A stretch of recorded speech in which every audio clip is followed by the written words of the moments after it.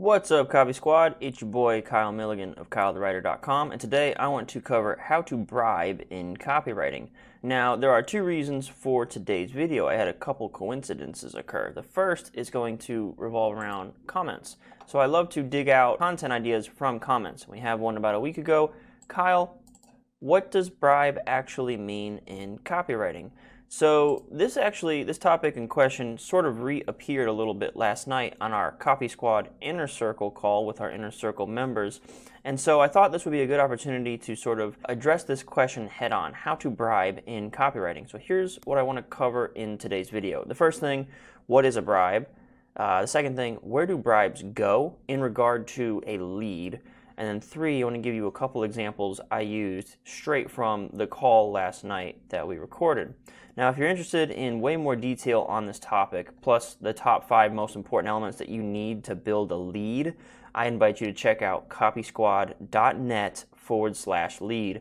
I'm building out a new leads course that will cover basically piece by piece how you need to construct your lead. So just visit that website for more details if you're interested in that.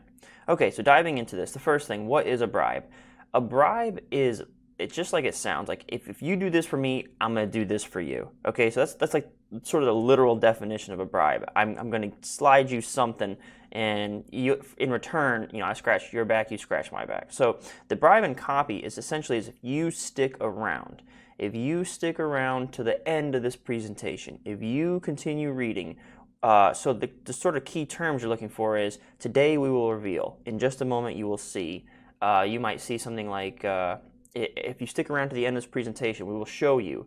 So basically, I'm asking for an exchange. That's a bribe. If you do this, I'll do this. Okay. If you stick around, I'll reveal this. So where do bribes typically go? And I'm talking specifically within regards to the lead at this moment. So they usually go right after you've done like all the other pieces of the lead. And again, if you want to learn all those, I'm, I'm working on a course for that, copysquad.net forward slash lead for more information.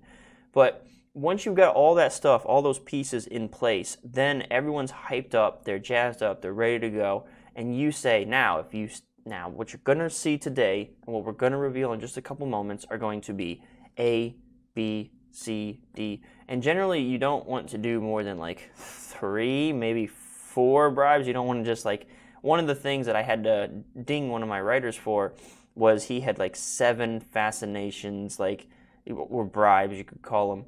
And I was like breathless by the time I read all of them. I was just like, you got to give me a pause. You got to give me a breather. So just list like your top two or three most interesting things that you will be revealing ahead and I've got some sort of templates. I got four different sorts of questions that you should focus on or that are probably the most pertinent to the reader that are also universal that will go into all uh, different sales presentations and things like that so that you can use this no matter what niche you're in or what you're writing for.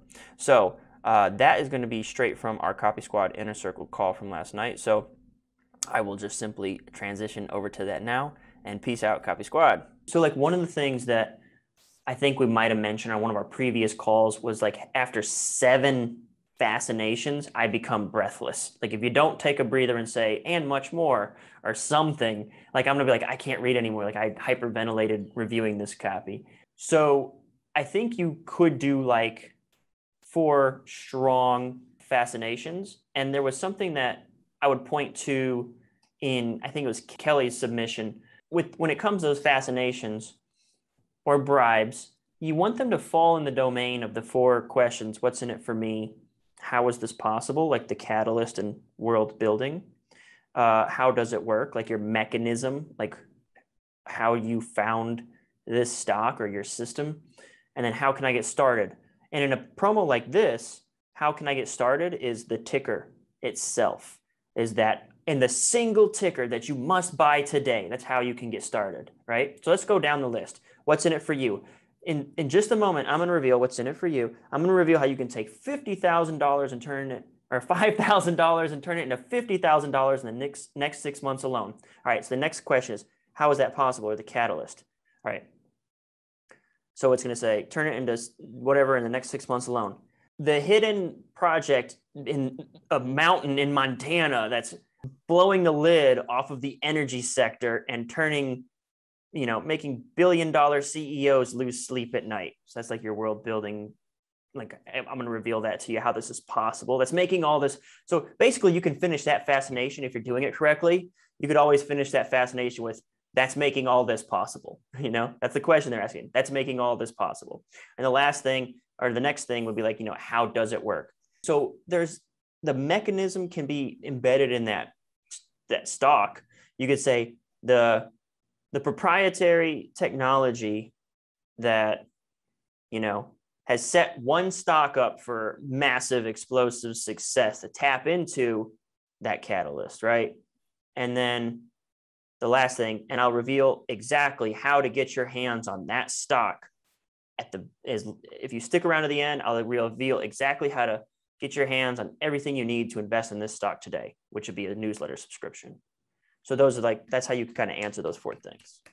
What's up, Copy Squad? I hope you found that useful. And if you're interested in getting a little bit more details about how me and my team set up our first seven pages of a sales letter to give us the best shot at seven figures, I invite you to check out copysquad.net forward slash lead. On this page, you can be the first to get details about a brand new leads course that will illustrate and step by step show you the strategy that me and my copy team use to generate over $50 million in gross revenues in a single year in financial publishing.